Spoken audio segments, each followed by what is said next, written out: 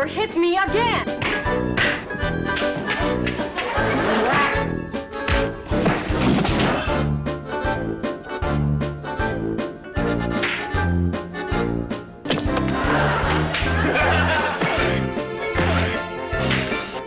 Chief, I think we got a hit on our Me. TV Fresno, now on Comcast Channel 187. Well, it's back to the polls for Fresno voters as the fight over garbage collection in the city of Fresno continues. I'll talk to a City Hall reporter who has been chronicling this epic battle for months. Next, right here on Connect with Me.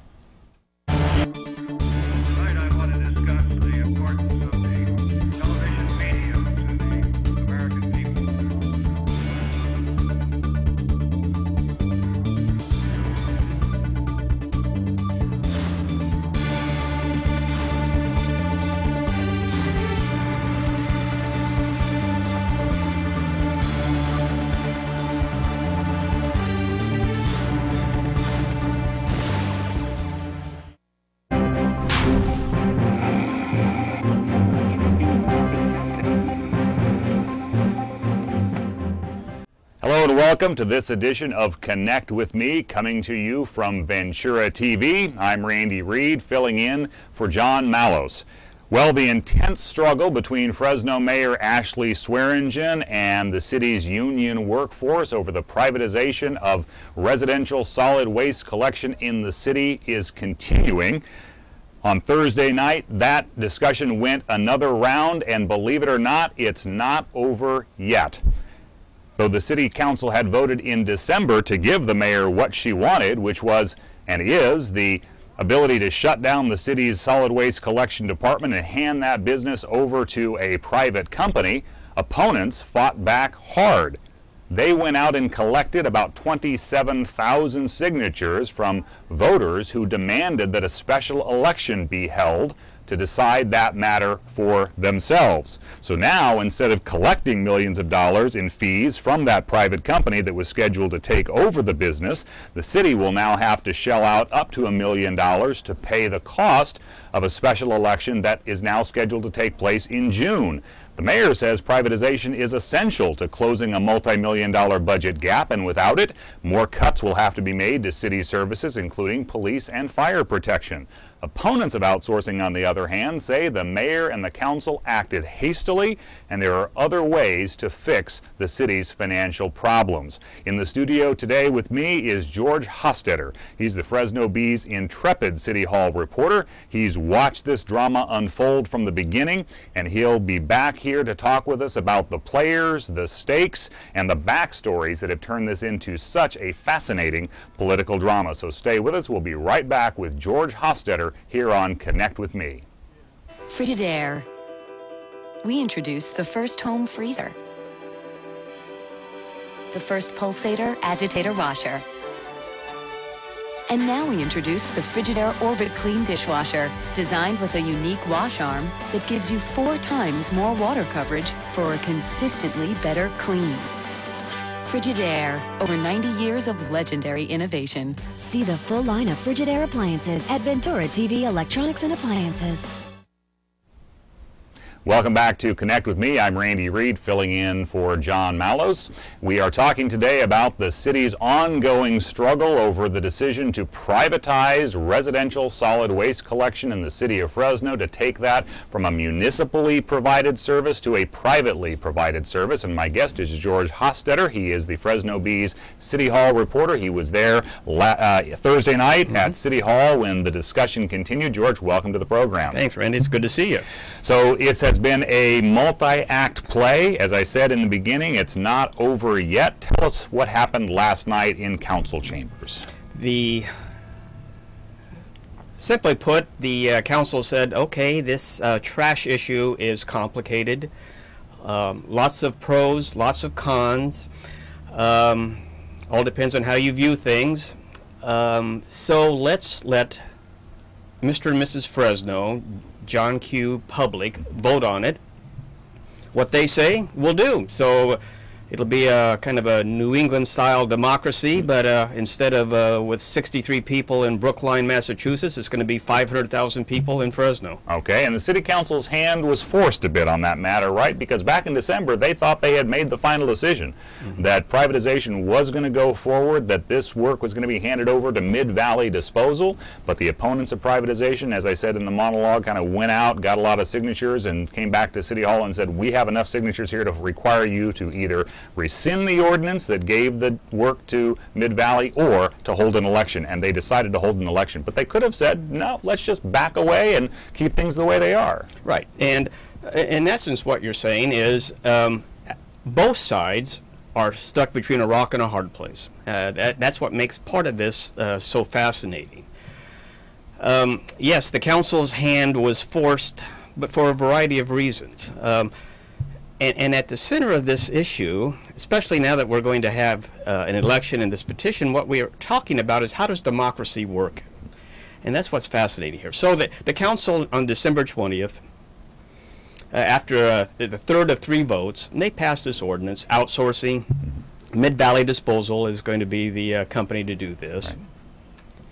And so you've got this elect, state election law uh, in a progressive state like California where uh, you know the the people always have a chance to give their point of view one last time. Okay? So um, the outsourcing opponents go out and get these signatures. 10%. Quite a few in a short period of time. Um, they had to get 21,828 and they got uh, 27,589. Uh, Wow. 5,700 more than necessary. Okay. So the council goes, well, we passed this for a reason. Uh, we need the money. Um, and we need the money um, to provide services. which And have been cut back dramatically over the past four years, five years, since actually 2008 Mm-hmm. when the economy tanked. So, um, and what happens is that the uh, outsourcing opponents go, no, we, we need to go to the people on this. So, 10% of the people said yes. And so the question that came up last night was, well, 10% of the registered voters, what did they say? Right.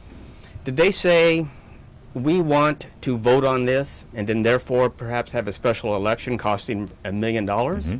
Or did those 10%, those 27,500, did they say, our voice is a big voice, council repeal it, we'll find the money under a cushion somewhere or some other place. And then the council um, on Thursday night goes, well, wait a second. Okay, 27,500 out of 220,000 registered voters. Uh, that's a nice number, but it's not a majority. Okay. And a democracy is a majority.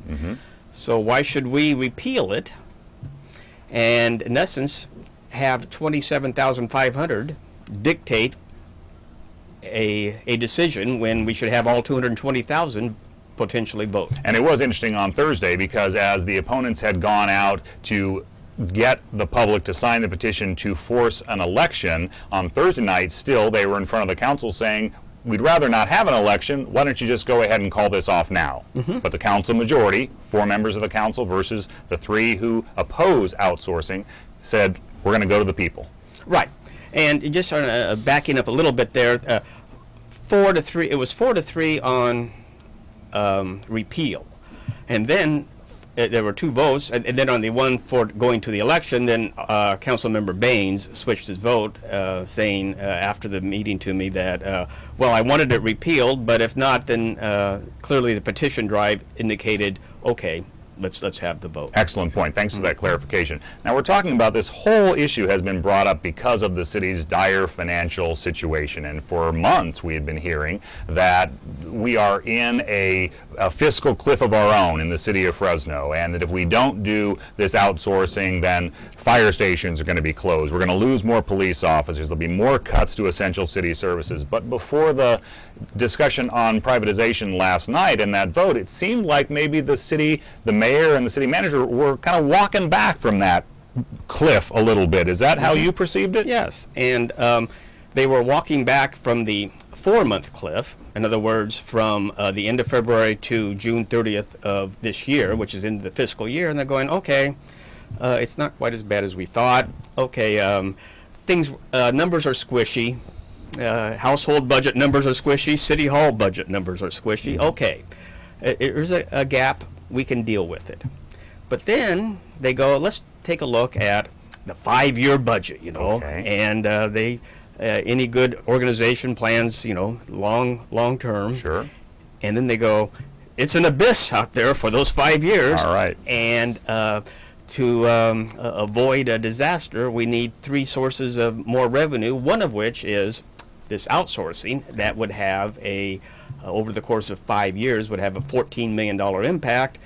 And then get back to your original point. Okay, if we were uh, maybe being a little bit melodramatic on FY13 up through June 30th, okay, sorry.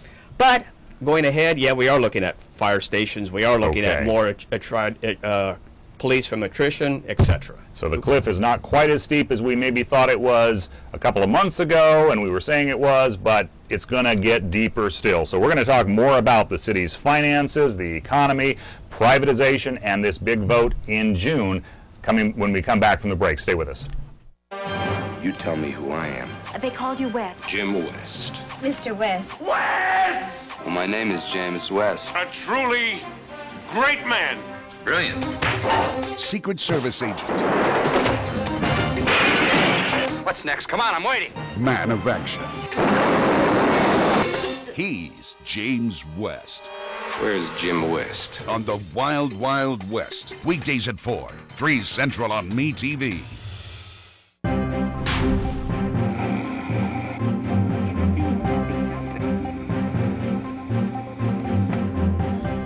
We're talking with George Hostetter from the Fresno Bee about the city's battle over privatization of residential solid waste garbage collection. The city had privatized commercial solid waste services a few months back, and now they're trying to do the same thing with the city's residential home pickup of, of solid waste. So, George, on Thursday night, the council had another vote on this. It's going to a special election. One of the benefits for privatization, as we were told, is it was going to bring in millions of dollars of new fees to the city's general fund. Now the city is going to have to come up with a million dollars roughly in order to pay the cost of a special election. Where's that money going to come from? Well, you know how City Hall is, Randy. You hear rumors, and that's Okay. all right now. That's all I'm hearing All right. rumors. Uh, last night, um, some of the outsourcing opponents, um, knowing a political advantage when they see one, they said this needs to come from the general fund. Of course, the general fund that's the one that's got no money, so Right. um, and that could help drive home a point during the campaign. You know, look at their spending. They're broke in the general fund. They're spending money to do this. It's crazy. But then you also hear perhaps it could come from the residential solid waste reserve. They've got about Interesting. 15 to 16 million dollar reserve. That reserve in itself, uh, we could consume a uh, program on the ins and outs and uh, um, of that reserve and I'm where sure. it's headed. But perhaps they um, dig into this reserve for 750, 950, a million dollars and pay for it that way. Okay, so there's still some options. It's not clear exactly where those dollars are coming from. So before we took the break, we were talking about the revised budget picture and the projections that Mayor Swearengin and City Manager Mark Scott presented to the council on Thursday night. The picture not quite as dire, at least in the immediate term, as we perhaps had been led to believe. Uh, I'm wondering how that's going to play into the campaigns between the proponents and opponents of privatization as we head towards June. What are your thoughts? The economy maybe is picking up a little bit. Sales tax revenues are up for the city. Other revenues are coming in unexpectedly. How do you think that plays into the dialogue? Well, I don't think uh, sales tax revenues are going to be uh, such that the mayor in these next three months will join outsourcing opponents and say, okay, listen, uh, we're stuck. We got to have this election, but let's all reject outsourcing. No, that's not Probably not. Agreed. But you know, your point, and is probably the point looking forward, is okay. You've got how is this campaign going to unfold, and what is going to be the message to Fresno voters? Um, well, you, you've been through campaigns and you've seen uh, mayoral campaigns. Um, both sides in those elections are constantly trying to come up with messages that'll grab the attention of people who have a million other things on their mind. True. And this election will come on top of like six or eight months of of this stuff being bombarded at mm-hmm. people. I'm constantly amazed by. I, I figured it up the other day. I've written on this topic 50,000 words since last fall. Really? Okay. And I'm constantly getting emails and calls from saying, "You haven't covered this," and I go, "Well, yes, I have. It's it's over here. I've written about it, you know, at length." But and that's the challenge facing both sides now. And in that sense, the outsourcing opponents have a big advantage. Um, the mayor has a focused message. Right. You know, we, we need the money. It's it's unfortunate we have to do this. She says at length, and I believe her. We wish we didn't have to do this, but here's the money reason we have to do it. Here's the uh, year's employment for affected employees. uh, 18%, nearly 18% rate reduction. If it goes to Mid Valley. Well, it goes to Mid Valley, Okay. and, and that will be hammered constantly. Okay. Two or three or four easy points. The opponents,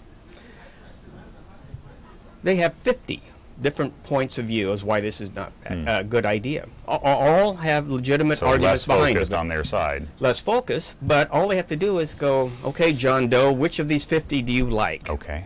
And John goes, I like number 49. Uh, let's say I, I'm concerned about maybe um, the trucks being sold to Mid Valley for less than their um, market worth. Um, okay, that's all it takes? No. Okay. hmm Uh, we we, we, uh, we shouldn't have this. And somebody says, uh, well, I like the fact that uh, I think they trash truck drivers should have their current wages instead of taking a cut in wages. All he needs is one. Doesn't need the whole picture. And that then raises the question about who turns out for special elections. Special elections generally have lower turnouts than Mm-hmm. certainly general elections have. So, what are your thoughts about uh, who's going to actually come out? Will it be more uh, the likely the opponents of uh, privatization and outsourcing, or would it be the proponents? What are your thoughts? I think it'll be a pretty good turnout. I think Okay. people are going to be surprised. Uh, The voters will get engaged over this. mhm. Remember um, on the petition drive, um, you know, the the the, um, the so-called experts at City Hall said, well, these petition drives usually to get registered voters, you have to get two signatures for one good registered voter. Right. And it turns out that the outsourcing opponents got 70% good. Good. Okay. If it had been a two to one uh, ratio on the signatures they got, they would have failed. But they got seven, over 70%. Over 70, right. Gives you a sense that uh, this isn't just a general election about, you know, uh, well, what color of our curb's going to be. Mm-hmm. Okay. so- they weren't being turned away at the door, is what it, it sounds like you're saying, and so people are thinking about it. They're talking about it, they, and and they're doing enough that they're able, willing at least to take the action of signing a petition. So Mm-hmm. now will they turn out uh, at the polls as well? That's the question that we'll have Mm-hmm. to wait until June to find out. We're talking to George Hostetter from the Fresno Bee about residential solid waste privatization. The battle in the city of Fresno continues. We'll be back with more of our discussion right after this. Ventura TV Appliance Center. We're the save energy, save time, save money place. The Energy Star qualified, ready steam equipped, high efficiency Frigidaire affinity place. You heard right. Right now, save big on select Frigidaire laundry pairs and pay no interest when paid in full within six months. At the hometown low price, think outside the big box place. Since 1951, Ventura TV Appliance Center. We're working hard to be your place.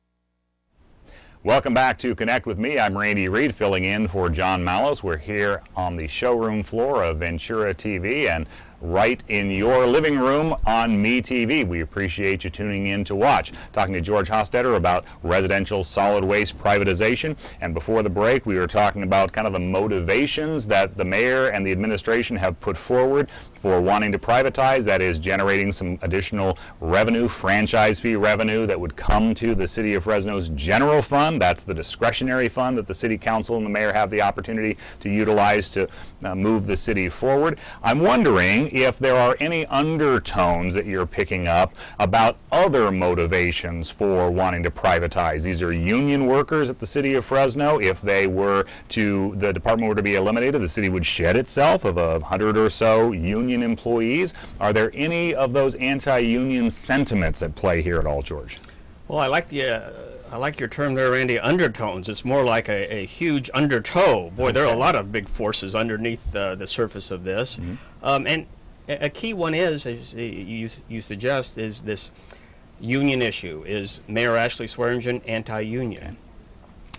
And I think w- one sense of uh, why th- she may be perceived as this is um, her fiscal sustainability policy that she unveiled uh, about this time last year. And it's it's a mouthful to say, and I have trouble saying it. And uh, it's a, a long document, uh, but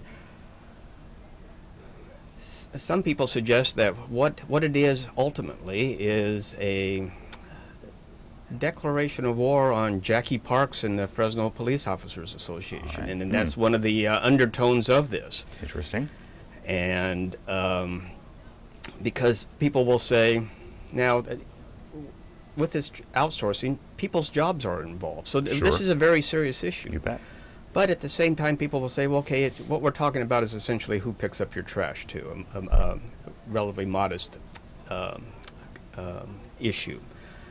And Police- private haulers do the work in other cities. But now you have the police issue because a, a, bigger issue, um, uh, one of the contexts to this financial issue is uh, who who gets paid what, what Mhm. kind of benefits do they get, and that's at play here too. And one of the big drivers for the uh, stresses on the general fund is health and welfare, in, in particular for the police, and uh, salaries in particular for the police. Sure.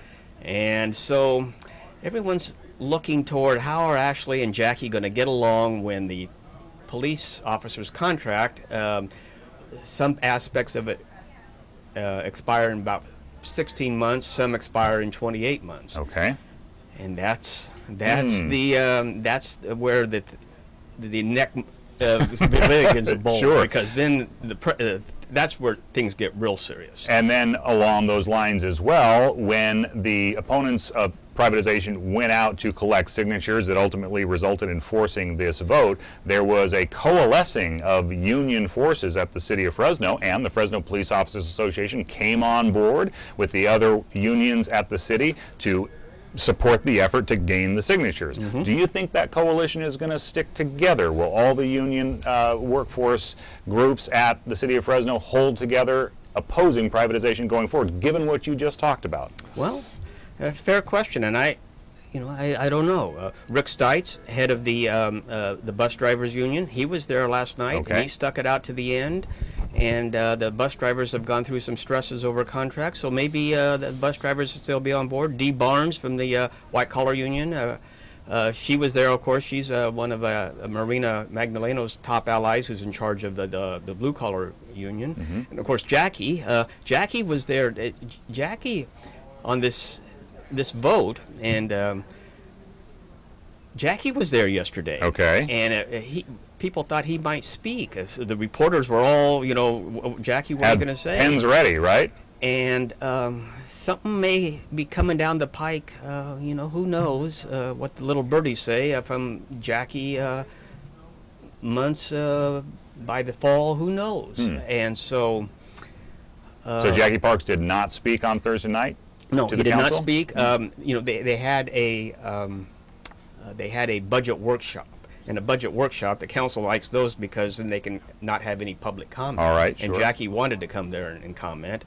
And uh, so when he once he saw what the was handwriting on the wall, Jackie left. But Interesting. um, you should, and I was among them. You should have seen all the reporters. You know, whenever Jackie walks through that front door, uh, the reporters just all over. him. Converge, right? Converge, right? Jackie, what are you thinking? What are you going to Oh, do? my. You know, and of course he, he, he's a shrewd man. Mm, okay, and the mayor's still dealing with him. And as Mm-hmm. you said, those uh, police officer contracts are coming up for reopening here in the next, uh, as you said, what, 15 months, 18 months? Well? I, I, the um, June 30th of 14, and uh, Mark Scott spoke at length about why this is important and why this is going to be important in the campaign Mm-hmm. uh, coming up for the viewers, is that uh, health and welfare costs are expected to go up dramatically.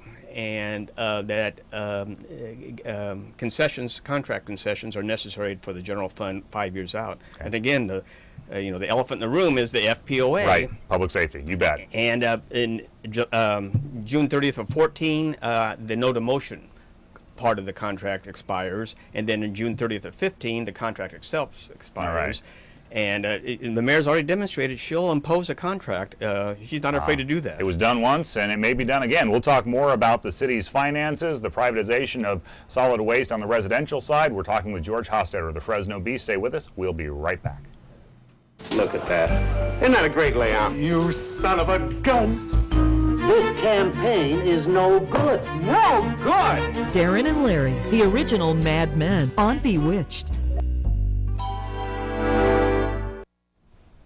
We are back from Ventura TV. You're watching Connect with Me. I'm Randy Reed, filling in for John Mallos, and we're talking to George Hostetter of the Fresno Bee about issues at City Hall, primarily the privatization of residential garbage collection. And George, there are some predictions that this special election in June, the referendum on the outsourcing of privatization of garbage collection in the city, could turn nasty. Do you think that's likely to be the case? What's your sense of the strategies of what the different parties may may utilize? Well, um, I think it'll be intense. Uh, I don't think it'll be Wisconsin. All right. Uh, but um, and you know, you you've been in there slugging it out in, an election, so you know it can get intense. And the petition drive was intense. Uh, for example. Um, it, was there uh, when the petition gather uh, signature gatherers were they being shadowed by people who opposed it, and there were arguments uh, at uh, shopping some centers. accusations of that, absolutely. And uh, did the police have to be called? So th- those kinds of things. But that doesn't rise to the level of Wisconsin Not at all. nastiness. That's Sure. just kind of you know it's a uh, what it is. It ain't beanbag, Mhm. you know. And so this um, um, it's going to be a, something similar, I think. It'll be um, you know people be calling up the reporters saying this is the worst thing since sliced bread. Look what they did to me. But I don't think it'll be. Uh, I don't think there'll be violence. Okay. We didn't talk a whole lot about the changing makeup of the city council, and while the vote has already been taken, this is going to a special election. I'm just curious, on Thursday, did you hear anything from the new council members that gave you any sense of just kind of the new dynamics on the dais at City Hall with new players at the table? Um, only thing I could sense was um, you know Steve Brandau and Paul Caprioglio. Um, they acquitted themselves well. Okay. Um, tense situation. First one for Steve. Um, he he uh, he spoke well and he, he uh, was concise. And uh, Paul Caprioglio, uh, keep an eye on this, Randy, going forward. Now I know he had 11 months on the um, on the dais when Larry went over to overseas. Yes. Uh, but um, I, I call it cap ease. Um, Paul speaks, um, being a lawyer, uh, knows how to uh, sum up things for a jury. Okay. And he is superb. at- Demonstrating that already. you know, getting his point across uh, concisely, Mm-hmm. uh, with a beginning, a middle, and an end. Um, and so he's going to be an interesting person to uh, watch um, if you go forward and what that might do to the dynamics of the council. He may be challenging Lee Brand as being sort of the uh, uh, strongest personality on that. And Lee has, I think, that honor, if that's an honor, Sure. because of his uh, kind of bean counting skills. Right, very interesting, something to watch. Um, and with regard to the discussion on the dais on Thursday night, I heard more than once from the council members sitting up there, we're friends here. We're not just colleagues, we're not just representatives of our areas, we're actually friends as well. You haven't often heard that from city council groups in the past. Right, but uh, the, the question is, do you believe it? Okay. Uh, you know, and uh, I, I uh, You're not convinced. I'm not. no, I'm not at all convinced. You know, and and uh, Sal, uh, Sal, Sal Quintero, who uh, you know represents um, you know District Five where Yes, we are, yes. and uh, Sal is a veteran of City Hall. And uh, you know, eight years earlier in two terms, and so he's he's knows can what be a it's like. fighter. And um, Sal's demeanor on the um, he's he's always gracious. Okay. Sal is, but you could I could just sense his demeanor was.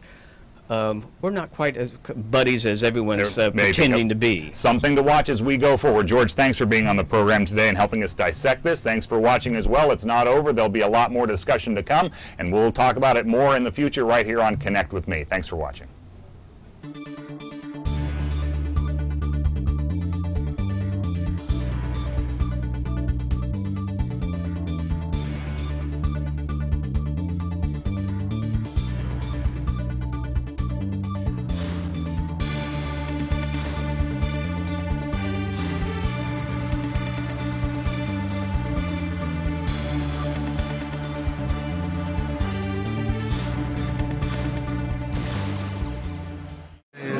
Here goes. Some shows force you to laugh.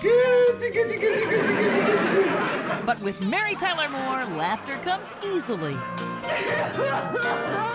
Mary Tyler Moore. More laughs and more more. The more the merrier. It'll tickle your funny bone. Would you like to borrow a feather? Weeknights at 9, 8 Central on MeTV. That's all, folks.